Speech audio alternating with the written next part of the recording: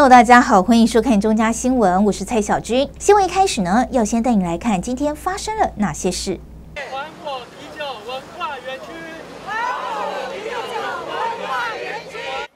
台北市朱元里里长和居民举着布条聚集在行政院前抗议。邻近的建国啤酒厂原本规划要转型成啤酒文化园区，包含公园绿地广场，如今却传出中央将全区的三分之一（约一点七六公顷土地）规划为台北科技大学校地使用，让居民不能接受。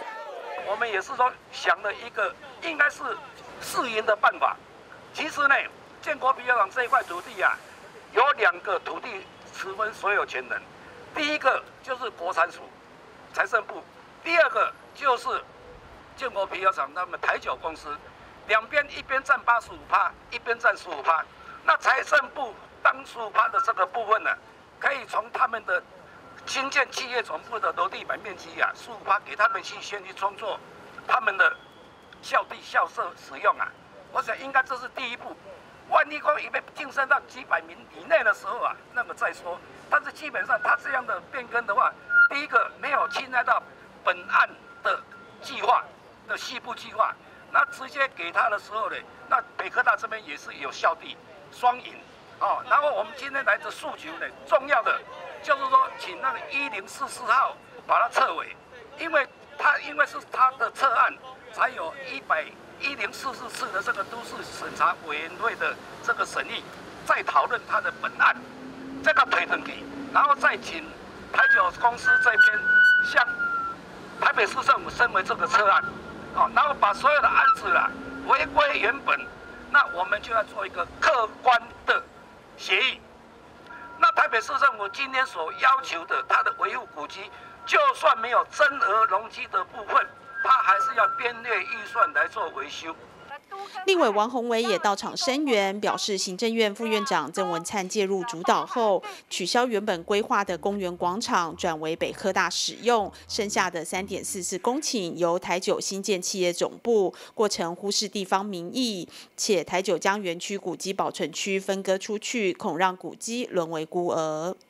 他就是原来的都更案。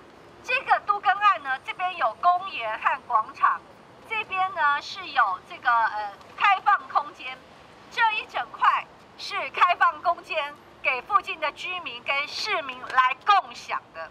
好，还有我刚才讲的啤酒产业文化保存区，这边是一个古迹区，在原来的都更案里面是由台酒公司他们继续的来负责来营运，那当然。也会由台北市文化局进入哈，那么这个部分必须要受受到好好的保存跟保护。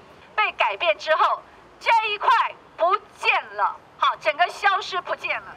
这个就是我要跟大家说明，他未来未来他说要分给北科大，北科大说他们要有校舍的需求哈，然后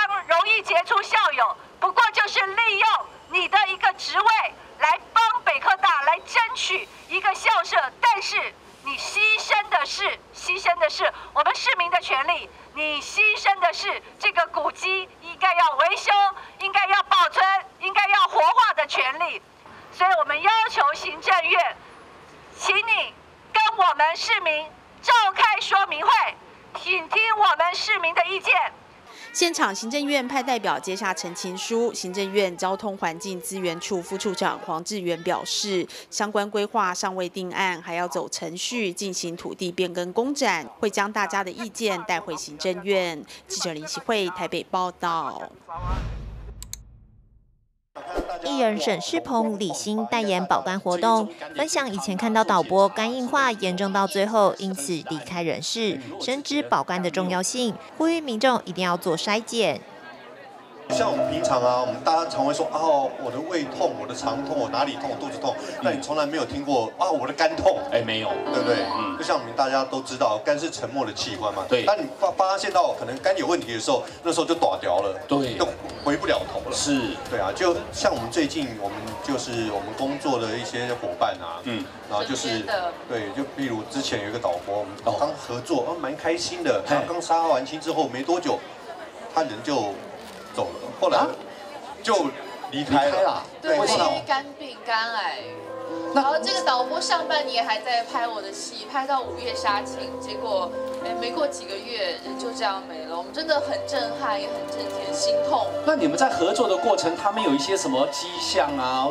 完全没有，没有。每天跟我们谈笑风生的，看起来就很健康的一个人。哎，还有之前就是我们有一个认识一个大姐，她是卖茶叶的。嗯，对，然后我们前一两天就跟他泡茶，隔两天他朋友跟我说他走了，我说啊，为什么？他说猛暴性肝炎，这么刹那间哦，对，非常突然，猛暴性肝炎这样子突然两三天就走了，那很严重哦，是哦，对，那时候后来我跟我老婆才意识到，肝是我们最常被我们忽略的一个器官，对。对，我们平常会注意啊，自己胃会照顾自己的胃，照顾自己哪里，没有想到照顾自己的肝。哇，对，所以今天呢，非常荣幸，对，肝机会给我们这个机会来。担任我们的公益大使，对，然后认识大家也是我们的福气，让我们了解到肝对我们人来说有多重要。国际福伦全球奖助金及台北正爱福伦社筹募爱心善款，响应肝病防治学术基金会推动的肝癌及腹超筛检活动，在士林区台北国际双语学校为士林区三十岁以上的民众做免费的肝病抽血、癌症指数检查。听到这样子的讯息啊，就。想说还是要做一下检查，这样子，对对对。我觉得就是自己身体要照顾好自己啊。那有一些肝病啊，像癌症啊，这个部分，这个都是需要定期去做一些筛检检查这样子。因为他没有限制，一定是长辈，他好像是三十岁以上就可以。我觉得。这个的构想是很好的，因为它等于把年龄层下降，那其实是可以让呃年轻人可以提早预防，对，后面会转换成肝癌，对，所以我觉得这个肝病是台湾人的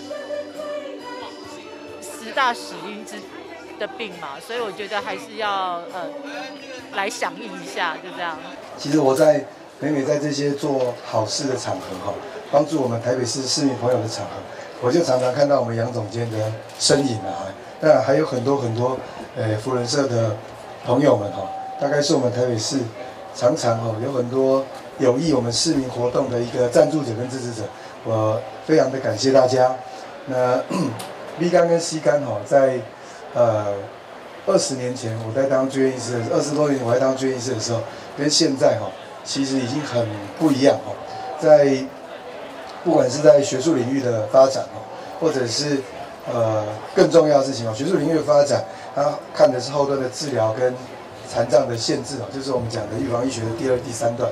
那到了这个科技的进步呢，这一段对于病人的存活已经有很大的改善。但是更重要的，我们都知道，投入资源在前面哈，包括说。呃，预防的角度哈，那就像今天这样子的活动，早期发现、早期诊断，甚至于透过这个活动呢，可以提到很多相关的肝病的知识啊，那间接的就提升了市民的一个所谓的健康势能。那不管在各种生活的各面向的注意上面，大家都会注意到自己肝的健康。那诶，再加上这个所谓的这个肝病学术基金会等等，还有在福人社的一起协助之下哈，办了相当相当多这样类似的活动哈。其实嘉惠市民朋友很多。今天的活动真的很感谢他，我看到许批永远都是默默的在付出哈。我一定要很感恩的，因为世界卫生组织希望在二零三零年能够根除吸干，那因为台湾很幸福，有福仁社友跟好心肝的支持，我们提早在二零二五年就会根除吸干哈，这是非常大家共同的荣耀。在此呢，我还要先谢谢我们的在场的很多福伦社的舍友，让我们肝基会呢，在许批还有黄老师的带领之下，能够在全省各地还有离岛做这个免费的肝病肝癌筛检活动。那大家都知道，这肝病真的是没有声音的，所以我们免费做筛检是希望发现，万一如果我们不幸是有 B 肝或 C 肝，不用害怕。应该要积极就医，现在有很多很好治疗的方式，所以呢，不要因噎废食，一定要勇于就医。我们的肝病一定是可以把它根治，所以大家我们希望大家勇于出来做筛检，然后积极就医，甚至及早治疗。肝基会提醒，B 型肝炎带源者至少每半年接受一次腹部超音波检查，也建议年满四十岁民众每年都应该做检查，借由保肝筛检活动，及早引导患者到医院定期追踪，抢在肝癌来临前建立防护网。今年超了没？好心好肝好健康，爱分享，分享爱，为世界创造希望。记者问俊台北报道。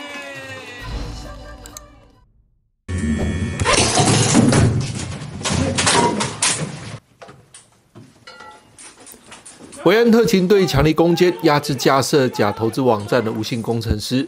刑事局八月破获一起黑帮经营假投资诈欺机房案时，循线溯源，掌握有广告商、机房系统商及架设网站工程师涉入。因此，组成专案小组追查，并透过台美跨国合作，顺利逮捕具体五名嫌犯到案。从广告面还有系统面，去彻底的去溯源。我们在呃有军单位的合作之下，啊也在新北地检署的指挥侦办之下，经过数个月的侦办，那很很顺利，在今年的二月跟十二月，呃有进行了两波的行动，那顺利的逮捕了呃。系统广告商、系统商还有工程师等五名犯嫌。其中广告公司任职的廖姓嫌犯，受诈骗集团委托，以企业账号投放，让这些假投资、假真财广告能快速通过脸书的审查，并增加触及率，以骗取更多被害人点阅。他使用公司的企业账号在脸书投放广告，那这个企业账号，因为他们本身公司就是做广告的，所以他跟脸书有非常密切的合作关系，它可以加速通过脸书的一个反诈骗的审核，然后一次投放大量的金额。我们一般人可能一次投放金额可能三百元，但是企业的账号它投放的金额可以达到五千元，那大幅的去增加了这个广告的受众哦，那使。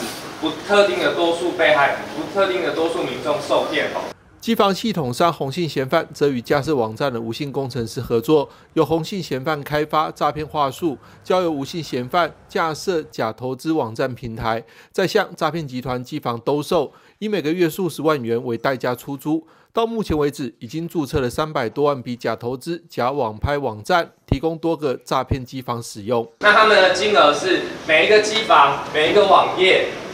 他每个月月租费就是二十万元，那他会交给这个红险，然后再由红险去跟这个不幸的工程师去做呃瓜分不法所得的这个动作。那只要说这个呃，那这个五险他还要另外还要负责。就是维护网页的部分。那因为如果民众去报案，那一六五封锁之后，他会立刻改网址，立刻改网址，使这网址持续的去做诈骗的动作。五名嫌犯已经依刑法加重诈欺罪及组织犯罪防治条例移送地检所复讯，其中机房系统商洪姓嫌犯及吴姓工程师两人裁定羁押禁见。刑事局表示，将从源头彻底斩断诈骗集团工具链，不容许各种诈欺犯罪危害社会治安。记者张启腾台北报道。从 NCC 国家通讯传播委员会主委陈耀祥手中接下奖状，中嘉宽频、双子星、庆联、吉隆、港都及常德有线电视在 NCC 一百一十二年度有线广播电视系统经营者制作推广地方文化内容节目平和基优表扬会荣获五项奖项，其中双子星有线电视南岛印记节目获得特优，庆联有线电视 Work 也行节目，吉隆有线。电电视基隆卫节目、港都有线电视听我说故事节目、常德有线电视真人图书馆节目获得优等，成绩相当亮眼。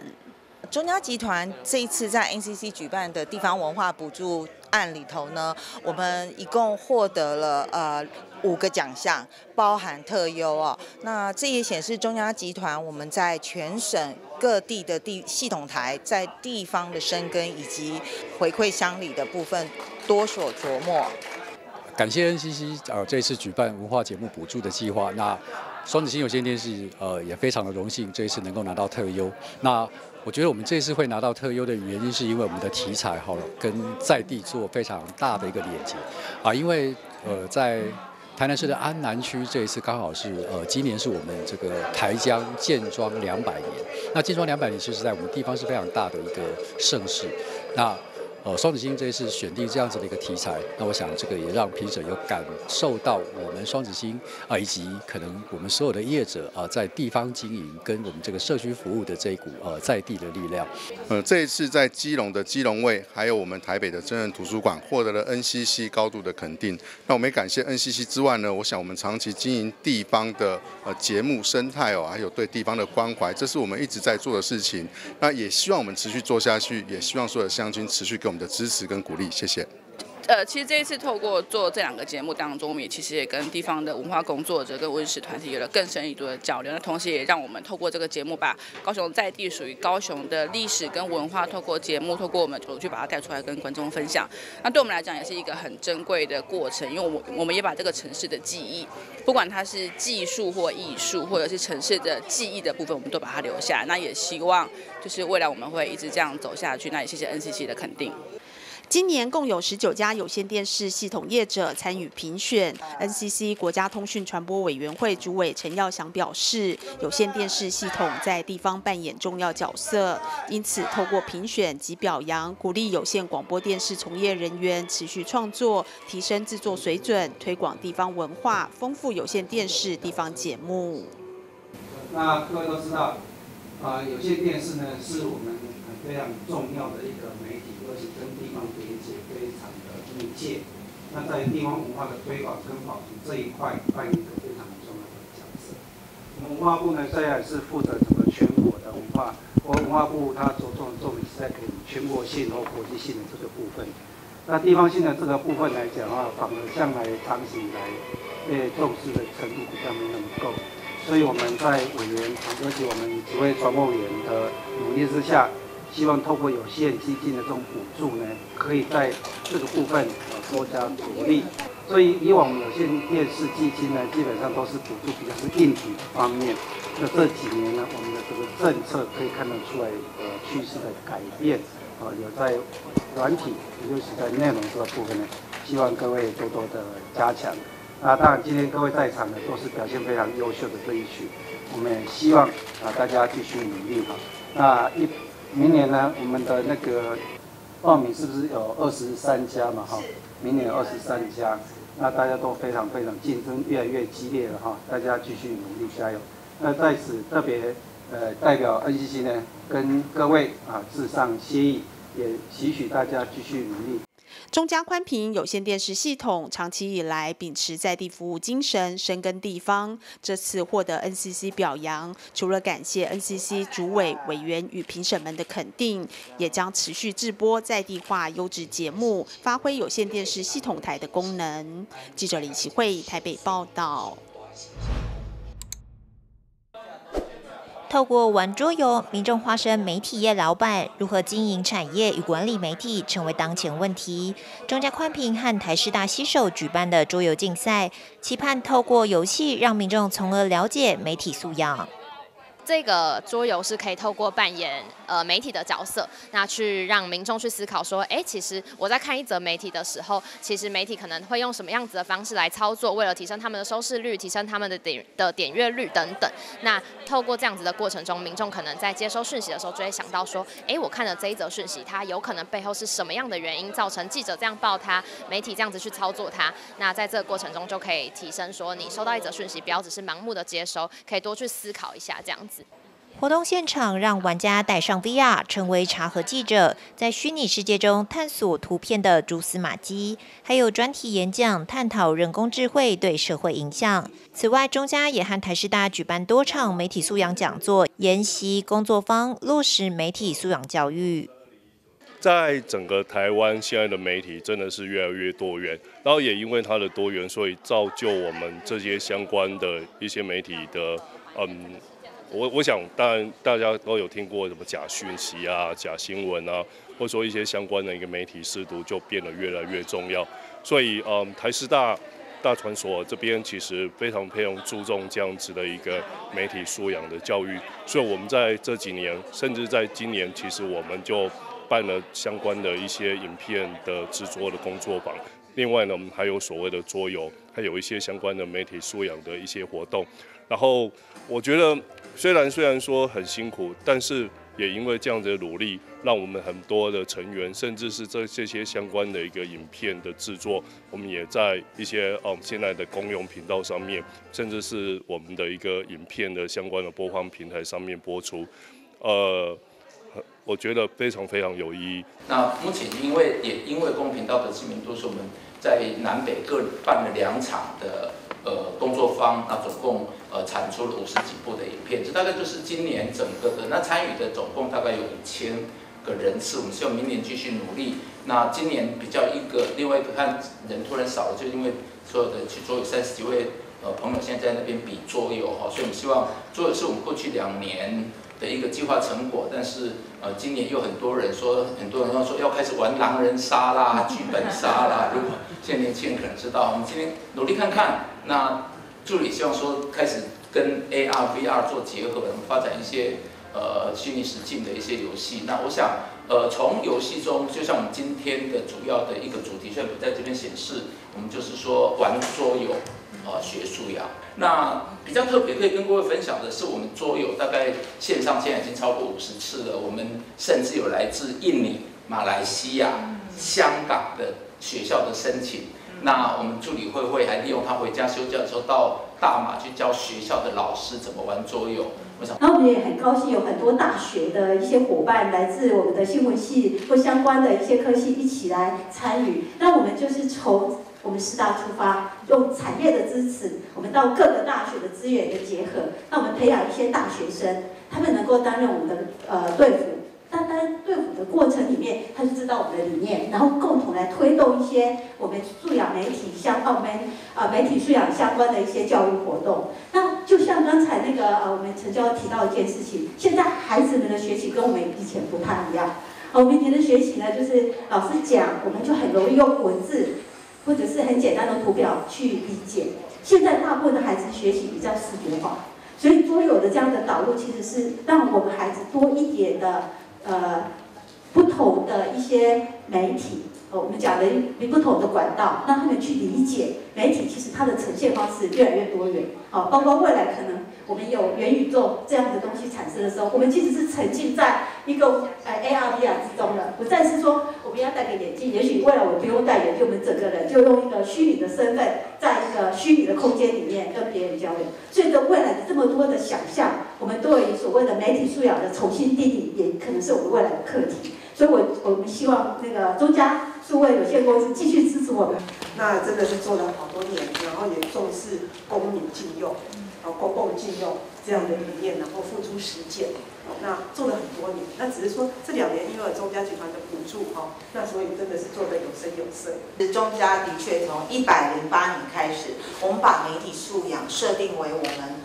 这个社会责任很重要的一环。那中嘉集团旗下有十二家的有线电视系统。其实我我我觉得在这从一百零八年到现在一百一十二年，五年了，所以媒体素养这件事情变得越越越来越难懂，还要与时俱进哦。那所以这也是为什么我觉得非常感谢这个炳宏老师。那因为台师大其实每一年，我们我他都会提案，而且每一年都有不同的创新。那我觉得这件事很重要哦。那呃，那刚刚 ACC 委员这边其实也给我们很大的期许，不要说交付款，其实我们是很高兴，您指引我们明灯，所以我们就继续朝这个方向走啊。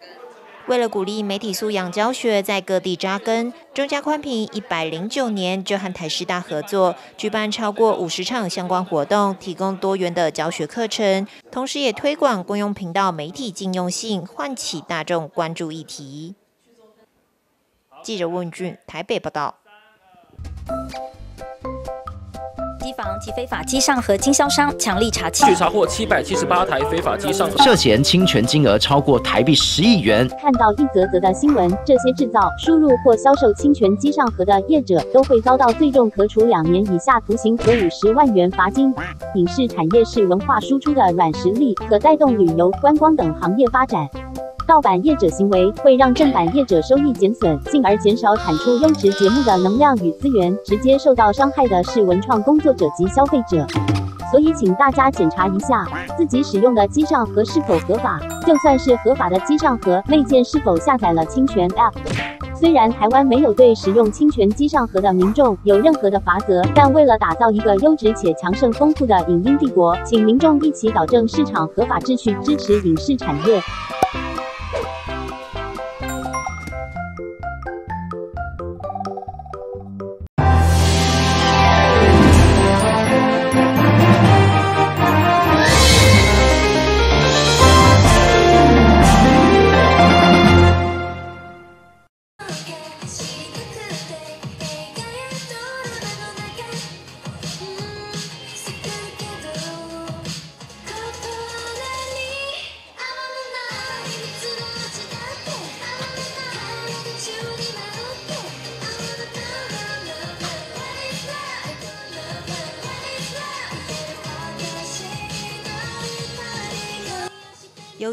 活泼的组曲拉开精彩序幕，道江商职应用日语科学生们散发热情，舞动青春。接着以流畅的日语简报，成功的关键承诺与履行，信守承诺的态度是迈向成功重要的一环。我们的主题是约束，然后所以我们的呃表演内容会跟约束有关，像是我们的戏剧啊，我们的跳舞啊那些的，对，会相会连接。像我表演项目就是关于舞蹈部分，传统舞还有现代舞的部分。我们日文是약속是约束，然后翻中文话就是守信用。对，然后守信用就可能很多歌词里面会，可能表达出那个守信用，就会讲到守信用的那个字，以及他们想表达这个意思。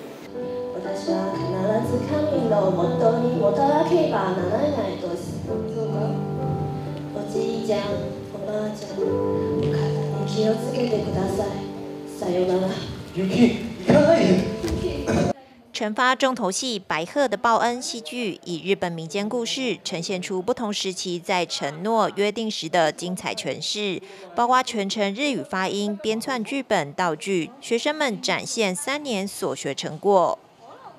我是里面戏剧里面的女主角，我是白鹤，对，然后白鹤就是在故事中，我是扮演着。嗯，被老爷爷救下，然后之后来去报恩的的一个故事。对，老师这三年都教了很多，我从一开始的萌新，现在都变成日语，有些人日语都很流利。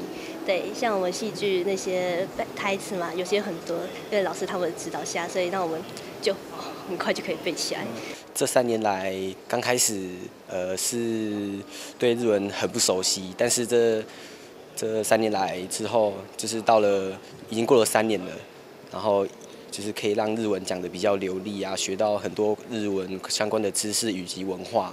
那我们本届也获得了日本交流协会藤田先生，他是负责交流协会教育的官员，全程来跟我们参与，非常的肯定我们道江商职。应用日文科各项的表现，而也肯定我们所有的同学在日文的流利上面，还有表达上面，都是有非常好的成果。印象深刻的，就是像我本来是说，哎，那开场我们可能今年是不是要改一下？他们说老师，我们真的想跳。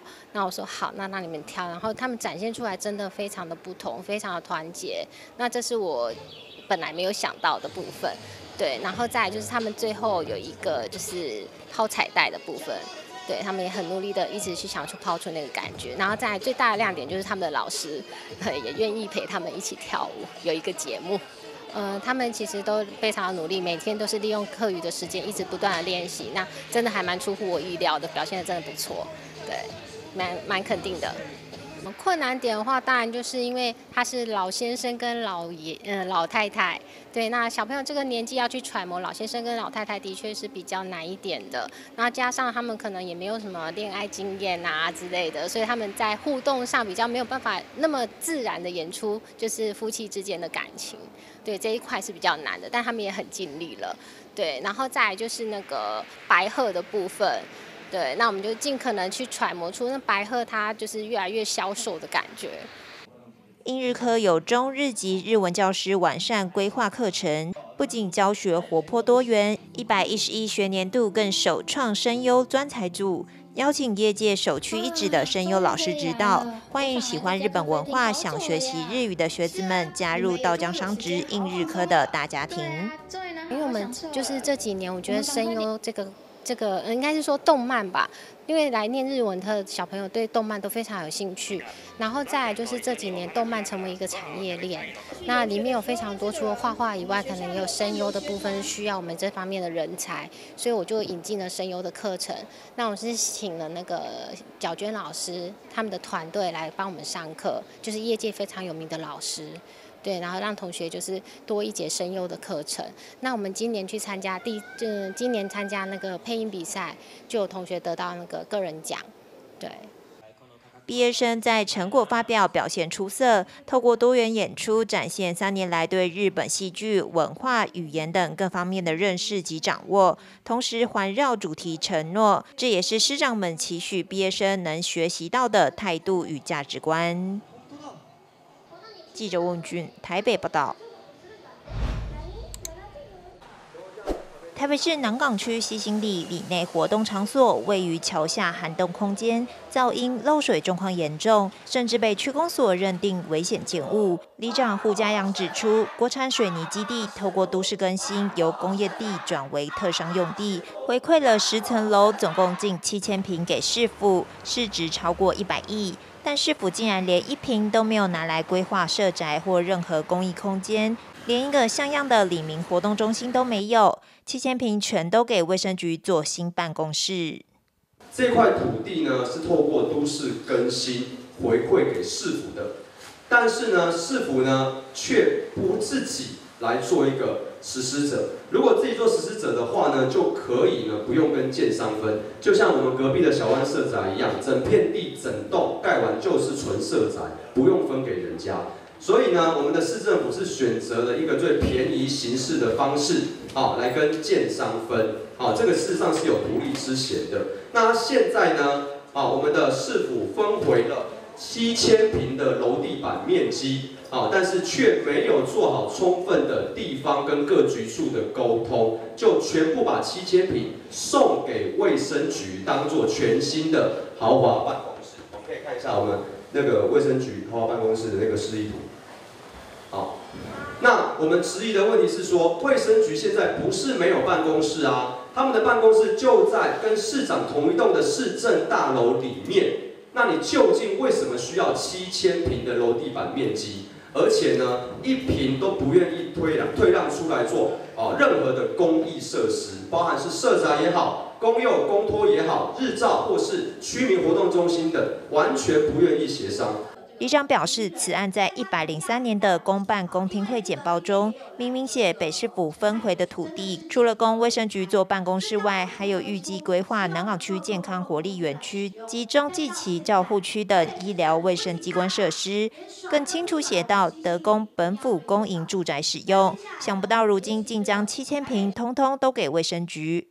立委高嘉瑜也表示，早在今年四月时，他就接获西兴里李明陈情及里长反映此案，为此还特别召开协调会。当时与会的卫生局代表竟然是一问三不知，连一层楼的李明活动中心，一层楼的公用公托，李明所最需要的，甚至长照，甚至我们南港健康的一个乐活的中心，都不愿意给我们的民众。大家质疑的是。这样子的一栋大楼，应该要做公益，应该要回馈给公共使用。在当初都审，在当初讨论的时候，也承诺说会来做公共发展的空间。现在是连一层楼都没有，甚至在当初的公听会只开过了一次，一次只有八个人来参加。这样的公听会敷衍了事，这样子的一个决策过程背后是有什么样官商勾结的问题？这个我们也会要求监察院。需要来调查。这一次这个回馈的案子呢，不仅让人觉得怎么用最低空飞过最低标准这个四十点五趴，就直接让他通过。而且竟然呃参与合建的，照理说身为地主的呃是否应该要分的比较多？可是呢，没有想到参与这个盖房子的啊这个起造人竟然呃分配的比例跟我们一般合建的照理说建方要分配的比例比较少，明显不符合逻辑，确实有这个官商勾结的嫌疑。而且重点是这个案子从头到尾。公听会居然只开一次，只有八个人参加，然后就这样子通过。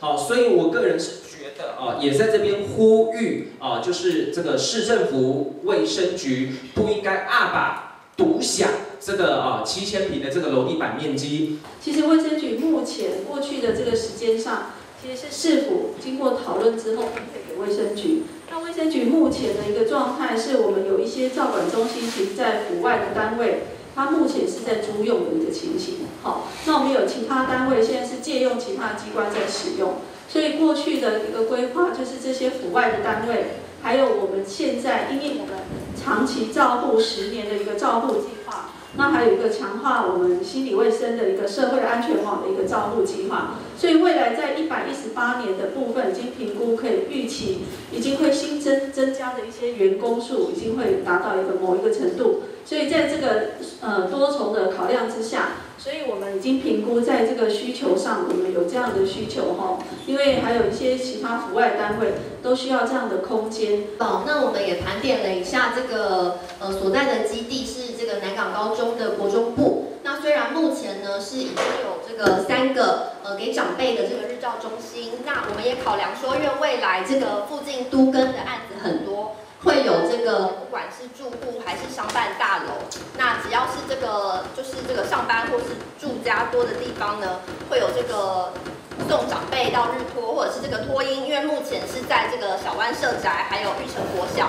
我们有小的公托，那未来呢？因应这个会有更多的人进到这个区域，所以我们也评估说，如果这个都跟回馈，呃，有机会争取的话，我们呃会来规划一个托婴跟给长辈的日照。那目前就是说相关的需求，其实李长这边提出说，我们都有提报四组的资产工具整合会去做一个处理的。如果相关的呃有关设宅的空间，或者相关以内的有空地或者新建的空间，我们都有。提出这样的需求，就是看之后有没有出局这边去做协调，没和一个适当空间做。那这个区域我们也的确也评估有这样子的需求。那如果就是西西里这边呃有机会有类似的基地开发的话，我们都会配合参建。所以他历经的这个郝龙斌市长还有傅文哲市长一直到现在，那当初的讨论是工业。这个供电商的这个案子呢，他要回馈四十点五这个土地，那其中呢包括一些可建地、公园还有道路的用地。那可建地的这个用地，因为既然要捐赠给市政府，所以当时在府方的讨论的时候，就盘点给这个卫生局来做使用。所以这个背景是在一百零三年到一百零四年的那个时时间点。那至于这个，因为这个案子的开发它是有都市更新，所以呢，这个开发的模式是。国产实业回馈可建土土地给市政府之后呢，我们跟国产实业一起来做这个都市更新。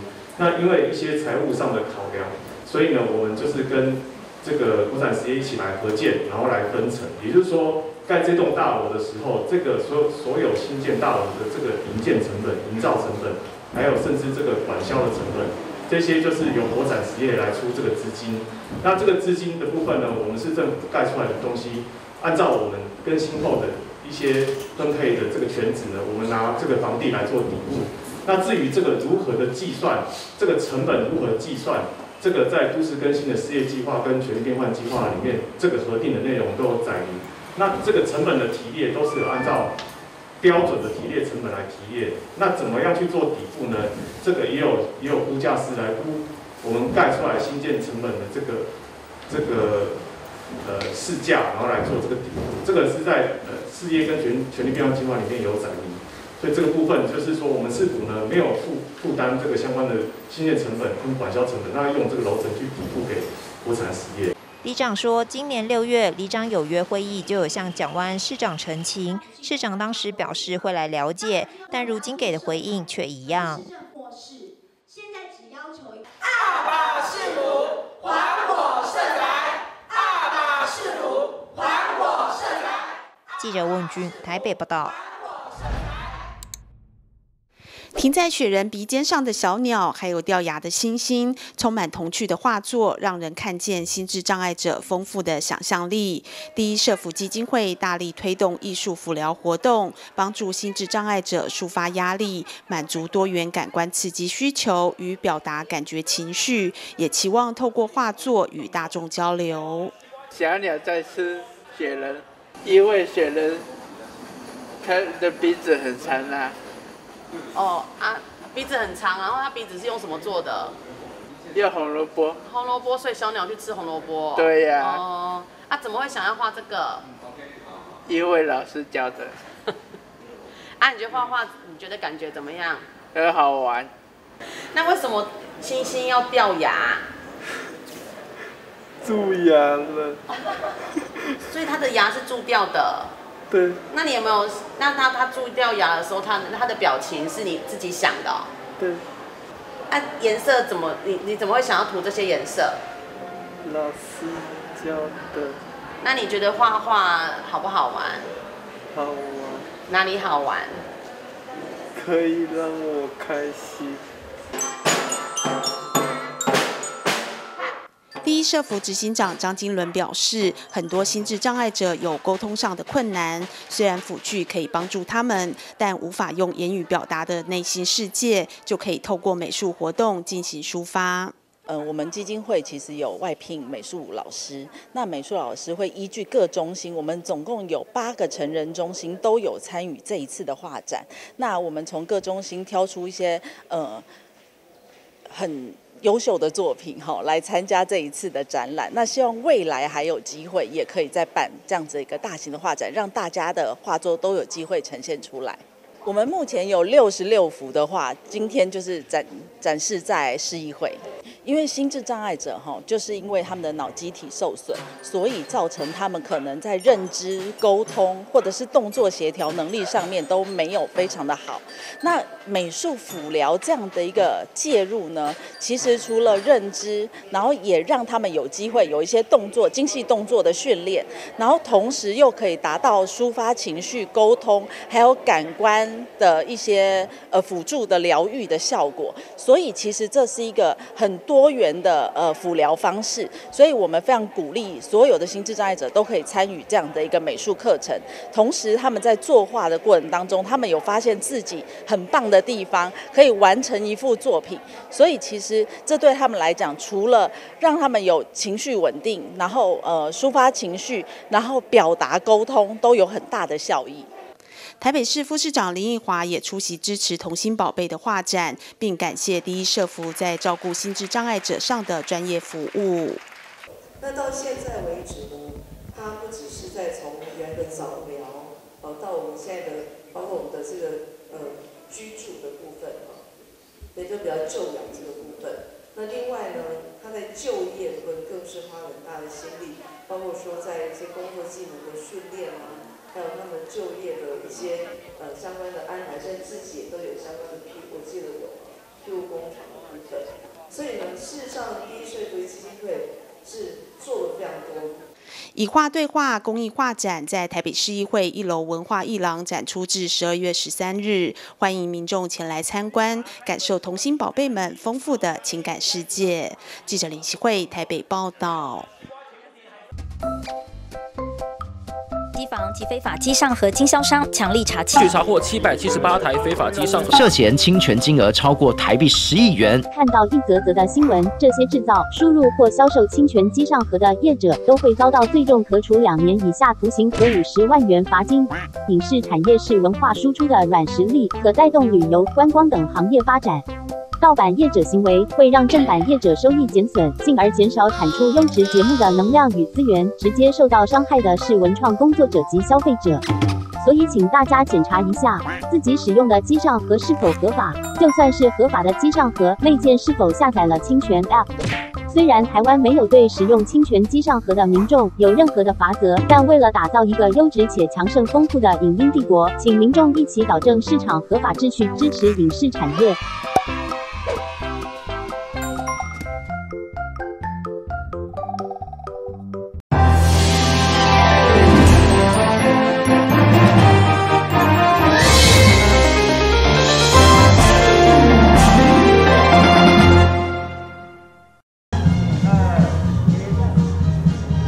心的上台领感谢状，他们都是在各校服务多年的导护志工，有充满热忱的高龄长辈，还有里长多年来持续坚守导护志工的岗位，服务精神令人敬佩。我吼健健康足济，啊嘛，足欢喜，足快乐的，大家拢哦看到怀囡仔，怀囡仔足好拢，导护妈妈走，导护妈妈走，逐工的啦。啊，我感觉讲足快乐，足好的。啊，我就是看下导护妈妈吼，爸爸吼。哦，拢足辛苦的安尼，风较大，雨较大嘛是咧过。啊，我著家己讲啊，我自愿，我若有身体健康健康哦，我一定要来做志工。啊，已经我已经啊做到十七年啊。很快乐，很幸福，很美满。但是我还没做阿妈，日日日来越好呢。那长乐国小在我们里内，那我当里长做了十年的交通导护。刚开始的时候，我是用拿着一个红色旗跟绿色旗来做交通指挥。为什么是红色旗跟绿色旗呢？因为我是铁路的交通号志，我就用这个最简便的方式来指挥。那现在我们小爱爸爸谢市长，他把整个的交通的动线做的用绿色的那个人行道。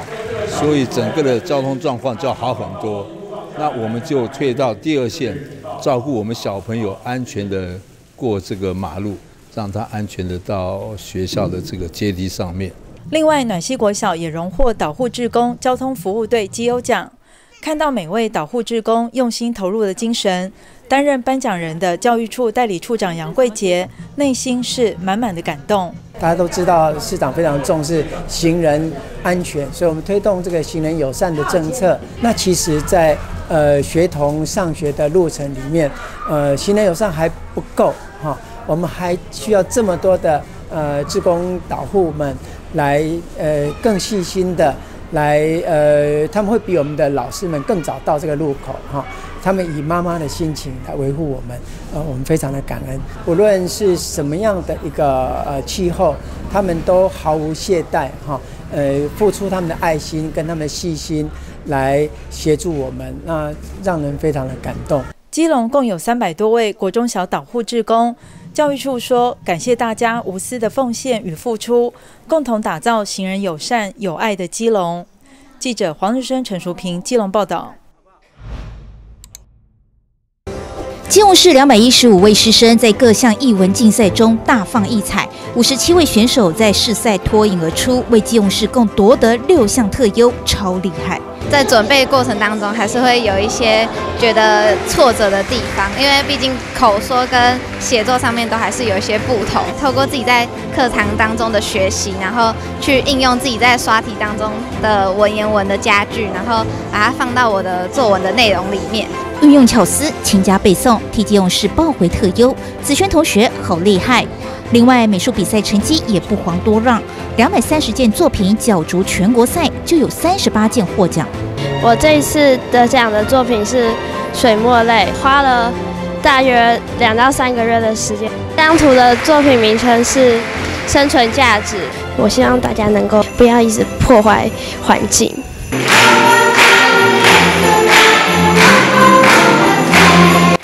舞蹈及戏剧试赛成绩也超吸睛，各领域得奖者将参加明年三到四月在基隆举办的全国赛。我很高兴能在基隆市音乐比赛获得大提琴和钢琴的冠军，然后也很谢谢老师的指导，希望我会更加努力，希望能在全国赛时拿到更好的成绩。教育处代理处长杨桂杰颁奖给获奖的师生，给予在艺文领域表现亮眼的学子们最高的肯定与鼓励。基隆市政府在谢市长的一个倡导之下，我们非常重视孩子的这些语文跟音乐、舞蹈各项的一个呃才艺的一个培养。我们希望说，我们的孩子不止课业很棒，我们希望他各方面的兴趣都能够得到发展，借由参赛来验证我们平常。呃，练习辛苦耕耘的成果，呃，这要非常感谢很多的家长以及老师的指导。我们在这边呃，特别感谢这一些呃付出的朋友们，也恭喜所有得奖的同学们，谢谢大家。记者蔡小军，基隆报道。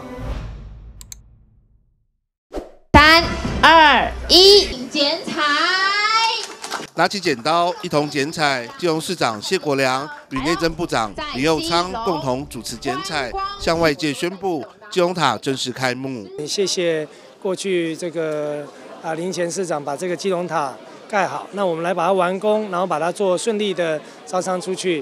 我觉得远见人文空间加空书未来会是基隆的另外一个新的亮点。只不过基隆未来亮点很多，我们每个月都会推陈出新，有很多新的安排跟推出很多新的地点。为什么要用远见来作为我们的品牌？因为我到那上面一看，那上面的空间其实等一下各位就会看到，没有想象那么大。但我们如何能够变成真正变成亮点？就是要让世界海内外有名的人来到基隆。那来了，他们一定会有一个目的嘛？哦，他们不可能只是纯观光，所以让他们来做新书的发表，然后也让这些名人来认识基隆，所以让世界看见基隆，让基隆也可以看到世界。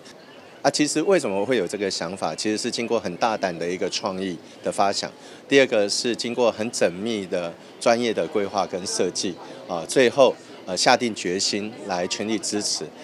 那这个其实也有中央的一个经费哦，因为这个费用呃整个三二城创联计划大概花了七亿多的一个经费，中央补助的非常多好，所以当初呃蔡英文总统来基隆的时候，特别跟他报告这个案子，也希望中央能够全力支持。那在去年我卸任之前，呃，很开心的带大家一起呃来开箱，啊，那大家看到这个树梯都觉得非常的惊艳。那呃，经过一年的时间，现在终于能够正式的来启用，呃，我想呃这个大家期待已久。好，前后任市长共同期许金塔成为观光新地标。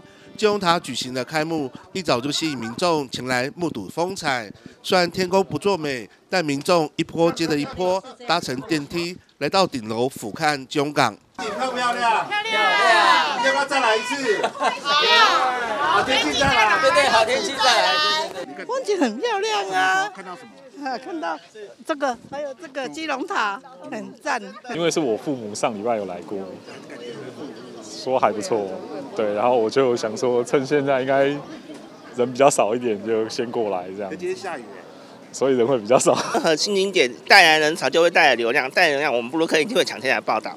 那其实我已经看到很多布鲁克已经在事前试营运的时候，已经特别来体验，特别来在在做一个记录。嗯，就是可以带动其他就是旁边的一些店家，然后让更多的人可以来到基隆这个地方来玩。基隆塔我觉得起来之后，对我们整个一二路啊，跟它这附近的商圈都很有帮助，是因为像前半年生意都比较惨那。那个这个塔一上来，最近的那个客流量啊，人潮都变得非常的多，所以我觉得，嗯，这个金融塔对于附近的这些观光啊，都很有帮助。金融塔四楼空间，文化局打造人文空间，希望成为金融重要的阅读人文中心。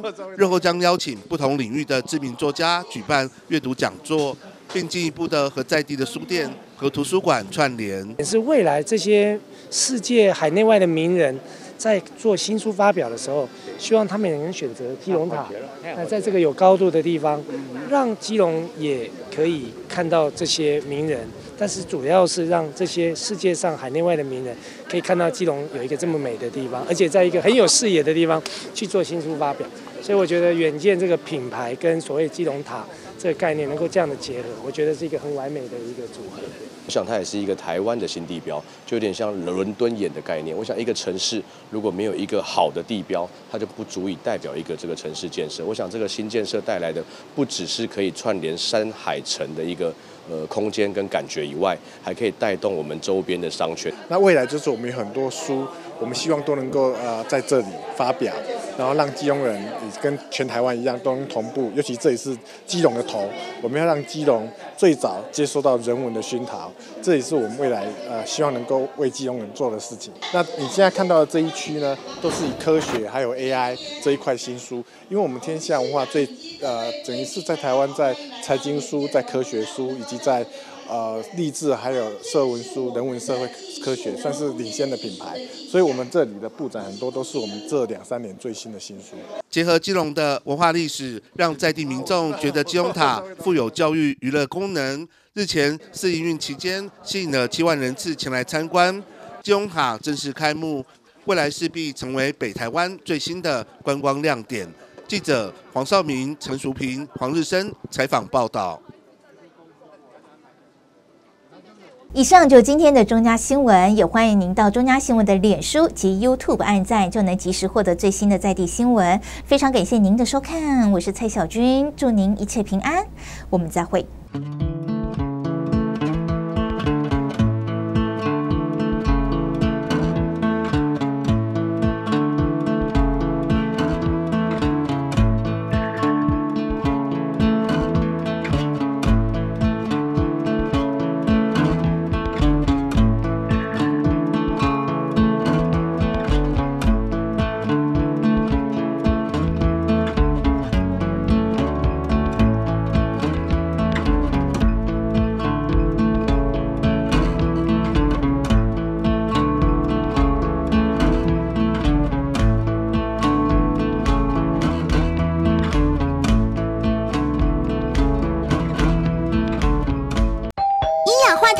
者诺克奖提醒您，屋外式瓦斯热水器绝不可装在加装窗户的阳台、厨房等室内空间，因为瓦斯燃烧不完全就会产生一氧化碳，短时间就会让人头晕、想吐，甚至意识不清。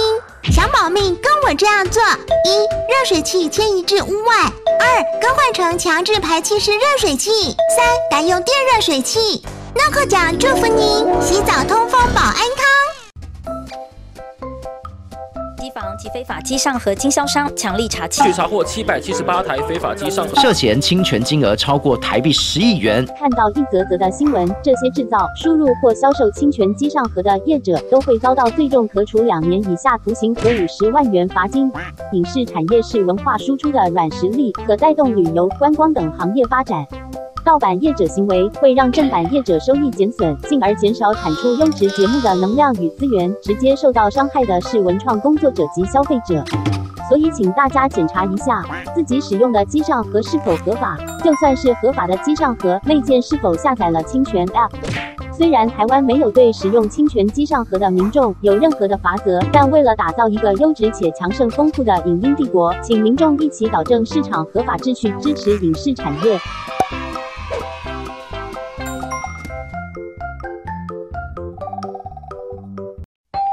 氧化碳终结者 Noco 奖提醒您：屋外式瓦斯热水器绝不可装在加装窗户的阳台、厨房等室内空间，因为瓦斯燃烧不完全就会产生一氧化碳，短时间就会让人头晕、想吐，甚至意识不清。想保命，跟我这样做：一、热水器迁移至屋外；二、更换成强制排气式热水器；三、改用电热水器。Noco 奖祝福您，洗澡通风保安康。酒驾罚很大，一提高酒驾违规罚还，再犯才累计加重，罚款无上限，酒驾拒检或拒测罚更大哦。二呼气酒测值达零点二五毫克以上，连坐处罚年满十八岁的同车乘客。三酒驾再犯、拒检及拒测再犯，肇事致人重伤或死亡者，没入该车辆。四、酒驾重新考照，需强制加装酒精锁，找别人代吹也不行，要罚六千至一万两千元哦。五、未完成酒驾防治教育或酒瘾治疗，不得再申请考照。六、慢车酒驾也加重处罚哦。酒驾零容忍，内政部警政署关心您。机房及非法机上和经销商强力查据查获七百七十八台非法机上盒，涉嫌侵权金额超过台币十亿元。看到一则则的新闻，这些制造、输入或销售侵权机上盒的业者都会遭到最重可处两年以下徒刑和五十万元罚金。影视产业是文化输出的软实力，可带动旅游、观光等行业发展。盗版业者行为会让正版业者收益减损，进而减少产出优质节目的能量与资源。直接受到伤害的是文创工作者及消费者。所以，请大家检查一下自己使用的机上盒是否合法。就算是合法的机上盒，内建是否下载了侵权 App？虽然台湾没有对使用侵权机上盒的民众有任何的罚则，但为了打造一个优质且强盛丰富的影音帝国，请民众一起导正市场合法秩序，支持影视产业。